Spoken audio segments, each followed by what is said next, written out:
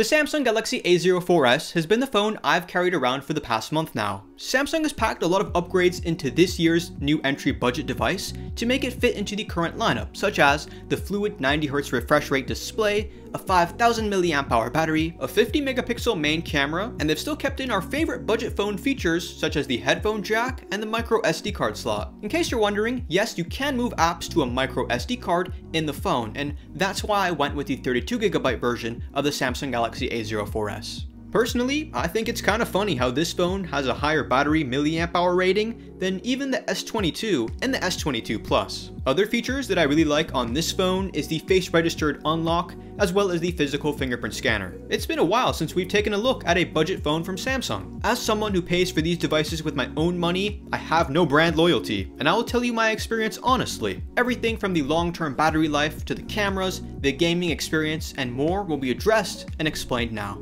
To start, on the Samsung Galaxy A04s, we get a design revision to that back plastic, which is now glossy. There's a pattern of lines, like waves, that do a good job of masking fingerprint smudges. This main rear camera lens has seen a major megapixel count improvement coming from the Galaxy A03s and the A02s before it. I still have the A02s, so I'll be comparing them side by side for the cameras, and we'll see if 13 megapixels to 50 megapixels here really is that dramatic or not.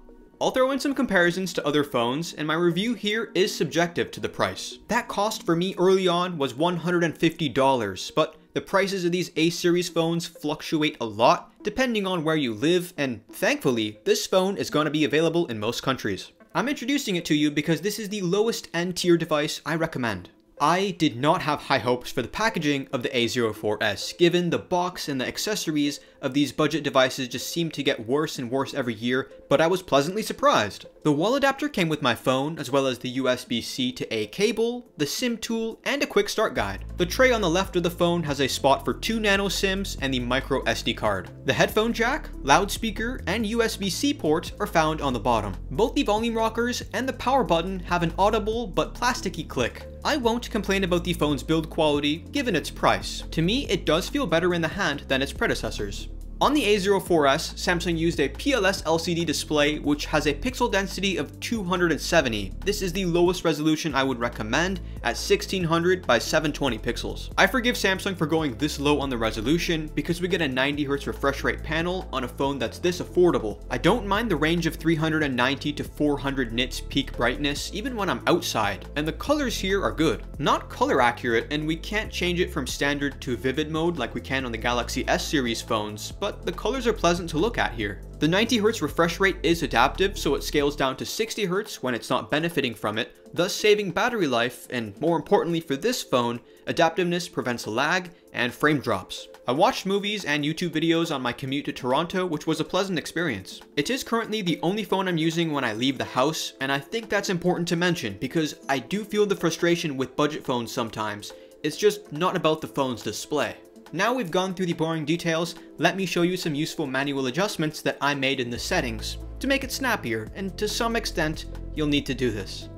In the settings, under display, I changed the navigation bar from buttons to the modern swipe gestures. I changed the home screen grid size to 5x5 and under the motions and gestures menu, I enabled double tap to wake. It's important to enable developer options so we can reduce animations manually to a half. Here we can also enable force allow apps on external which will let us move games and apps onto the micro SD card when we're in the apps menu of settings. In case you're wondering, I'm using the 128GB SanDisk Extreme Pro microSD. The microSD storage is slower than the internal eMMC 5.1 speeds of this phone, but that won't be a problem for performance here.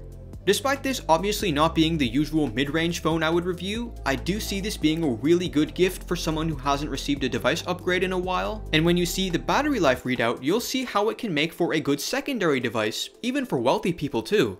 I timed how long it took the A04s to charge fully from 0 to 100%, it was 2 hours and 20 minutes. Now if you're in a rush, and you only got an hour, you can actually get it up to 50%. That's not bad. You can comfortably expect over 7 hours of screen on time with a full charge, and a lot more than that if you're just watching videos and browsing social media with the connectivity options turned on. This isn't even with dark mode turned on or any of the power saving options, so if you are a light user and you're battery conscious, expect 2 days of battery life.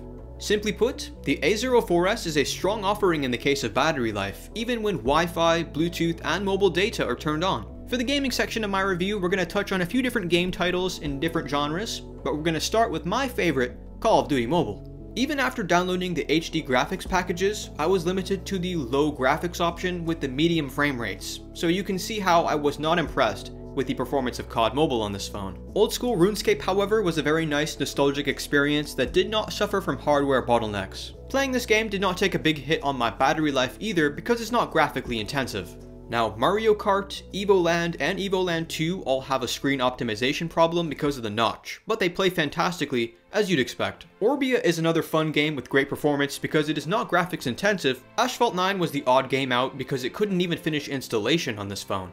PUBG Mobile allows us to play at HD settings on high frame rates, but the lag was too much. Balanced graphics with the high frame rate setting was the best I could play at while still enjoying it. The gameplay was alright, but I did encounter some stutter in all settings options, and it's nowhere close to playable at 90Hz. If you're still here and you're following along with my review, let me know by leaving a like on the video, and also I want to know if you have any suggestions for A04S videos that I can cover. We can also go back and revisit the Tab A8, I think that would be interesting.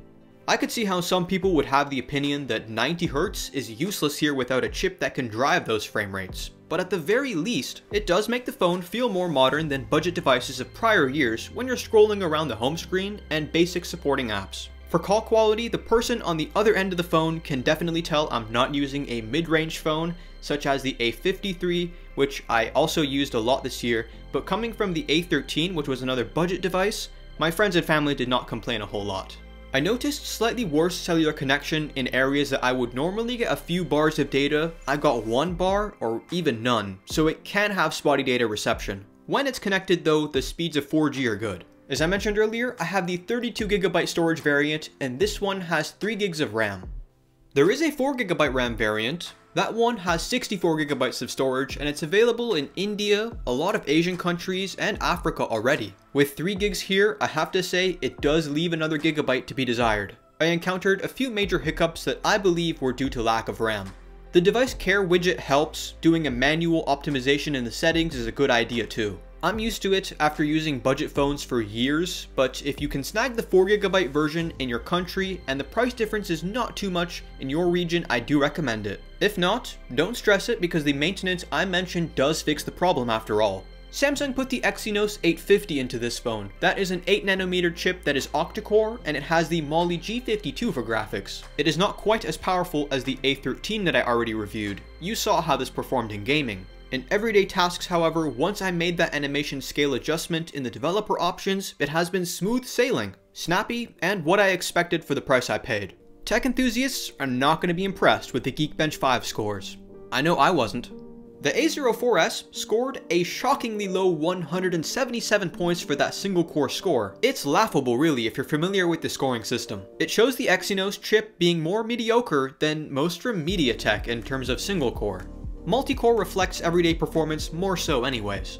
The phone comes out of the box running Android 12 and One UI Core version 4.1. It's almost like they're deliberately going back an Android version, but there is some good news. They do have a good record of software updates for these phones. Yes, even the A0 series. My older A02s for example shipped with Android 10, but is now running Android 12, the same version as this one. Samsung's Core One UI is a cut down version of the regular One UI that we'd find on the Galaxy S flagships. Now the main differences are there's no DeX, there's no secure folder, and also we're missing the useful built-in screen recorder. But that last problem is nothing that can't be solved with a third-party app from the Play Store for free. We cannot connect the phone to a PC to get more control over it, such as viewing messages and notifications. For me, that would be nowhere close to a deal breaker. The speakers have seen a big improvement compared to the A02s, so now it sounds clearer at full volume. I would describe it as a richer sound less tinny, and a bit more loud. Still, it is a single speaker, so don't expect a stereo vibe, and there's no Dolby Atmos to boost the DAC. Now, we're onto the cameras. The main 50 megapixel lens is the middle one. This is a 2 megapixel macro camera, and the top lens unfortunately is for depth sensing. Nothing cool. We saw exactly this type of camera configuration on the A13, and if you remember, the megapixel count is the same here. For the price, the main camera results are good. I took my pictures on the 50 megapixel mode. It takes more than a second to process, although the results justify that processing time somewhat. Color accuracy, sharpness, and dynamic range were right up to my expectations. Be very still when capturing a picture because in 50 megapixel mode, the slightest shake will result in a blur.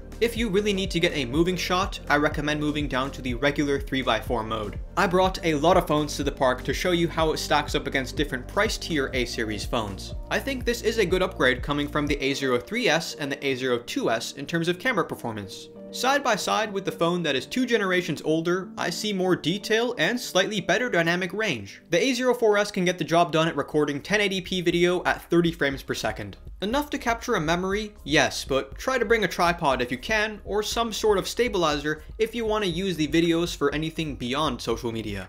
The camera app has panorama, pro mode, and food mode in addition to the portrait blur which takes use of the depth sensing lens. The macro lens is the same one that's been used in Samsung phones for years now. At least this time, I got to show it off in a different season. The front selfie camera is 5 megapixels at f2.2 aperture. It can record 720p video. Let me know if you approve of the selfies I took using it. In my opinion, the selfies are usable. There is no IP rating on this phone, but I took it out in the snow and in the rain when it was still autumn weather, I fully expect my A04s to withstand some light rain, even a spilled drink, as long as it's dried up in a timely manner. Given the price of the A04s, I think the camera improvement is enough to entice me. Now, there is an A04 without the S, and an A04E just to really make things complicated for us here, but I don't recommend to you my friends to buy either of those two devices. I picked this one for a reason. This is the lowest I would go for a Samsung budget device. Personally, I've been happy with this phone for the past month. I'll stay up to date with you in the comments. A big thank you to all you my friends for subscribing, and I really appreciate your likes and comments. I hope I've done my job today in making this video worth your time.